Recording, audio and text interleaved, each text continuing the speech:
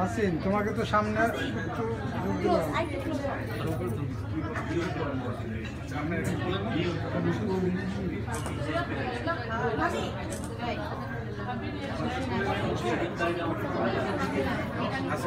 হাসিনা আমার সামনে আসুক তাহলে